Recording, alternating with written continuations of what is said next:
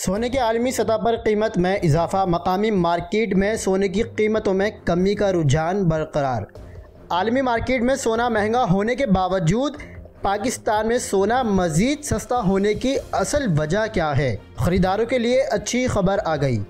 हक पाकिस्तान इन्फो में खुश आमदीद। सोने की आलमी मार्केट में कीमत बढ़ गई जबकि मकामी सतह पर सोना सस्ता हो गया।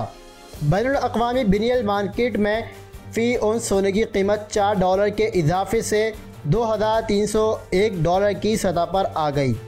दूसरी जानब मकामी सराफा बाज़ारों में क़वत ख़रीद मुतासर होने और फ़रोख्त में कमी के बायस हफ़्ते को चौबीस किरात के हामिल फ़ी तोला सोने की कीमत सोलह सौ रुपये की कमी से दो लाख अड़तीस हज़ार रुपये और फ़ी दस ग्राम सोने की कीमत भी एक हज़ार दो सौ सत्तावन रुपये की कमी से दो लाख चार हज़ार सैंतालीस रुपये की सतह पर आ गई। मुल्क भर में सोने की कीमत में कमी के बरक्स फ़ी तोला चांदी की कीमत बग़ैर किसी तब्दीली के दो हज़ार छः सौ बीस रुपये और फ़ी दस ग्राम चांदी की कीमत भी बग़ैर किसी तब्दीली के दो हज़ार दो सौ छियालीस रुपये बाईस पैसे की सतह पर मुस्तकम रही।